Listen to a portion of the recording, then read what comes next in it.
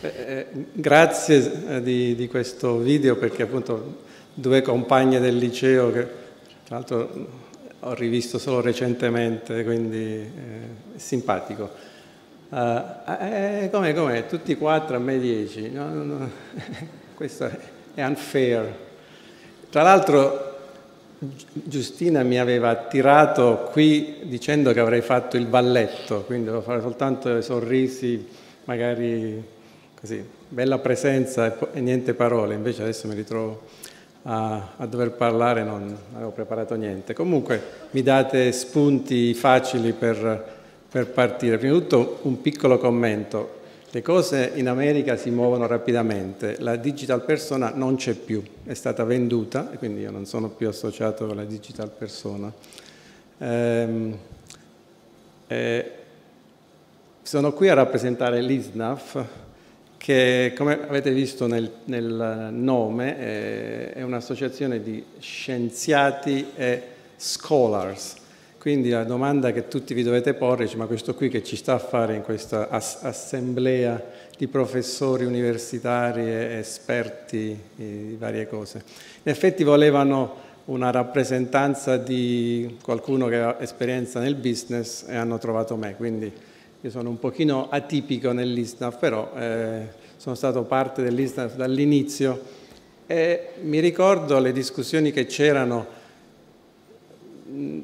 Come ha detto bene Giustina, c'è questo grande eh, attaccamento all'Italia da parte di, di tutte le persone, tutti questi professoroni che però eh, si sentono italiani e vorrebbero fare tanto per l'Italia. E la cosa interessante è che ci sono state tante discussioni su come aiutare l'Italia e di fatto eh, è molto difficile trovare una, una mm, risposta per vari motivi. Uno è perché non, spesso non è facile senti, accettare, as, ascoltare, poi anche accettare dei commenti che vengono dal, dall'esterno. Eh, mi è capitato anche a me quando sono rientrato in Abruzzo per fare gli investimenti, mi è capitato di fare qualche discorso e, e magari di muovere delle critiche e poi mi sono ritrovato la gente che per strada mi diceva più o meno, dice, ma tu chi credi, chi credi di essere? No? Noi viviamo la realtà qui e tu vieni e, e, e, fa, fai le prediche. In effetti, diciamo, la verità è un po' nel mezzo, come sempre, no? È vero che stando dal di fuori uno non vede tanti dettagli importanti, però è vero pure che magari vede la foresta e, no, e, no, e non solo gli alberi. Quindi sarebbe più utile mantenere un, un dialogo con, con eh, eh, le persone che, che stanno all'estero, però di fatto non è facile eh, essere propositivi e arrivare a fare, avere un impatto in Italia. L'iniziativa invece dei giovani ha un impatto immediato e, e moltiplicativo ed è una cosa a cui cioè, mi sento molto vicino perché dopo tutto anch'io sono stato un giovane, eh, adesso pare strano che alla mia età uno possa essere stato giovane, però in effetti sì, sono stato giovane e anch'io ho avuto questa possibilità di cambiare prospettiva.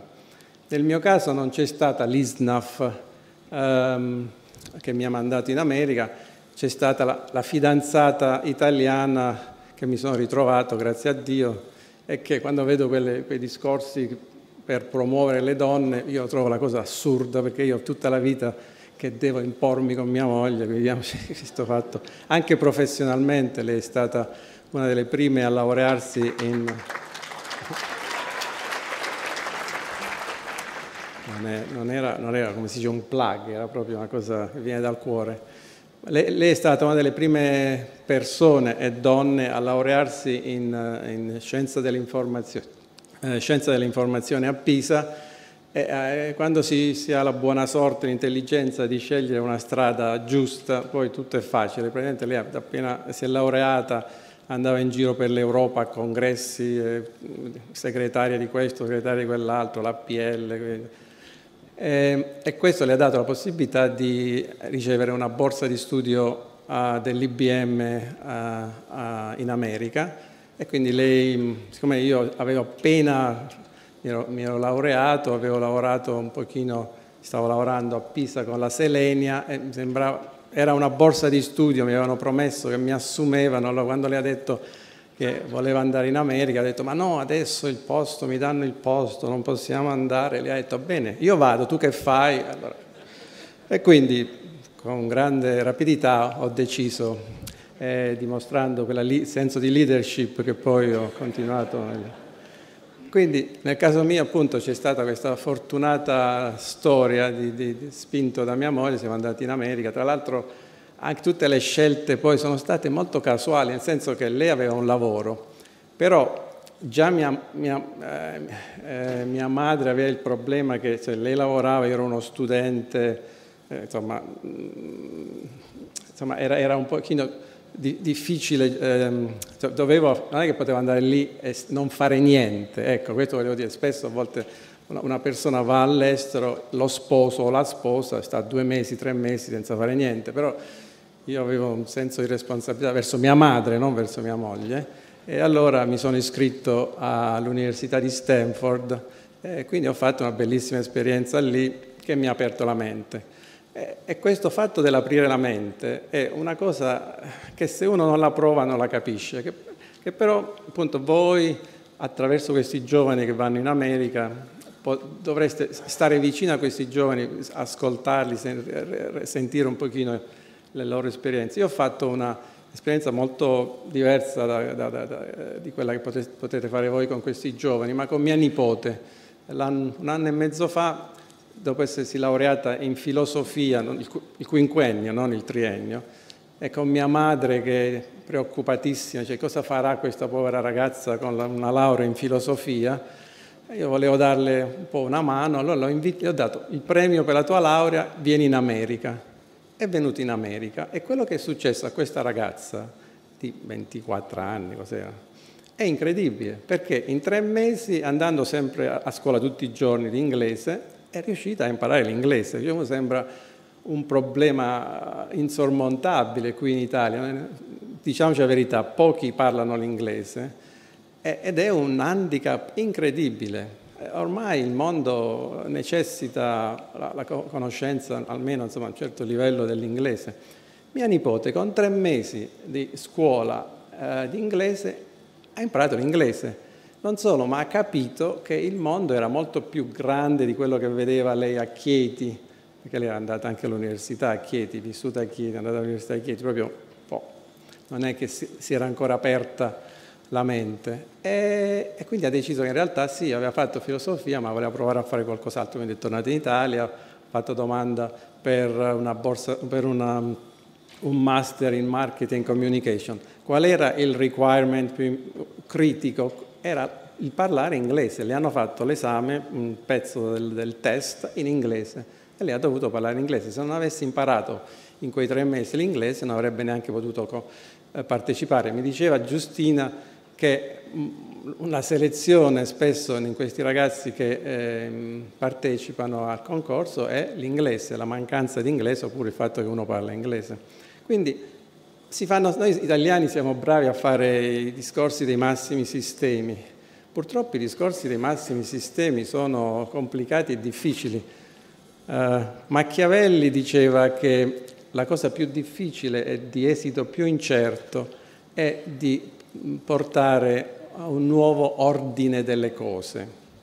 E dava una spiegazione chiarissima, perché diceva quando si cambia l'ordine delle cose, le persone che nel passato avevano un privilegio eh, vedono il rischio di perdere il privilegio e quindi sono contrarissimi al cambiamento. Le persone che invece si avvantaggeranno del, del cambiamento non hanno ancora l'immaginazione, non vedono chiaramente il, questo che succederà nel futuro e quindi sono dei sostenitori molto tiepidi.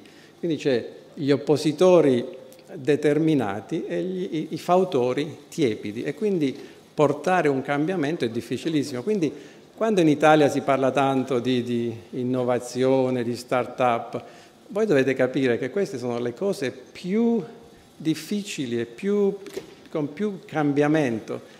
E il motivo per cui l'America poi riesce ad avere successo probabilmente ha a che fare con una accettazione del cambiamento che in Italia io non vedo. Noi siamo una cultura vecchia, vecchia nel senso magari antico possiamo dire se non vogliamo sentirci offesi, ma c'è un radicamento delle cose così profondo che cambiare in Italia è difficile. E questa è la spiegazione che mi do io per il fatto che dopo tanti anni che vengo qui e sento sempre i politici a dire dobbiamo fare questo, dobbiamo fare quell'altro, poi nessuno, non succede niente. La mia spiegazione è che la, la società italiana è oggettivamente eh, molto rigida e molto ricca, però la ricchezza culturale, di tradizione e tutto, c'è anche un contenuto di immobilità.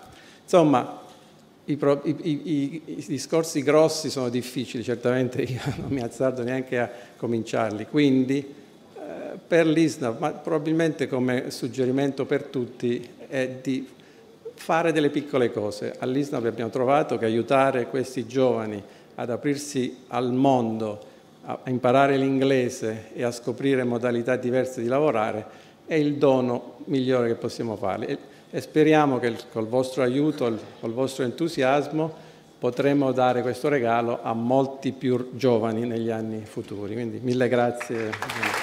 Pierluigi, Pierluigi rimani qua eh, con me.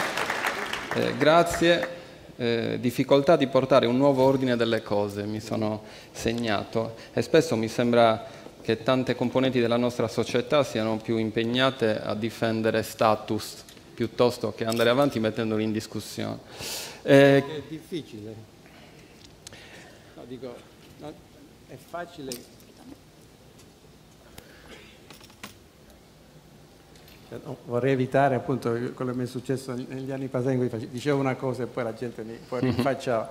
È difficile, mica, cioè quando faccio un'osservazione, ma è ovvio che essere in una situazione di privilegio eh, si sta bene. Qualsiasi cambiamento che rischia di eliminare, ridurre il privilegio è faticoso, è, ci vogliono i santi che di, di loro sua sponte decidono di fare il cambiamento. Quindi, eh, però il mondo cambia, e uno può resistere, resistere, resistere, ma a un certo punto poi c'è il cambiamento è ancora più duro e più difficile perché ci si è resistito troppo al cambiamento. Quindi una sola precisazione, chiedo scusa. Eh, rimani qua con me, chiamo eh, Fabio Bonfa, non so se c'è Armando, Armando è in sala, se qualcuno lo chiama o se, eh, se poi Armando entra venga anche Armando. E Gino Vinci,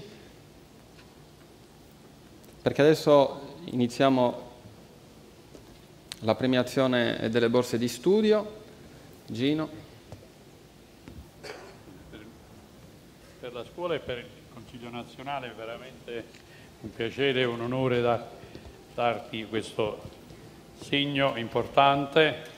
Noi crediamo nel futuro e certamente tu sei stato già da un po' nel futuro, ecco, questo credo che sia... Però non so se sono ingegnere, perché non sono iscritto all'albo. Ah, yeah. E questa è l'occasione per iscriverlo, quindi credo che... ho fatto l'esame, ho passato sì. l'esame. Comunque questa non è condizionata all'iscrizione. Ah, no, ingegneristi, allora... No, però ecco, può essere una promessa per il futuro. Armando.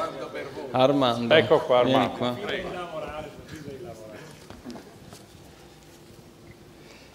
Adesso eh, possiamo iniziare con eh, la premiazione, rimane anche Pierluigi con noi per premiare i, eh, i ragazzi.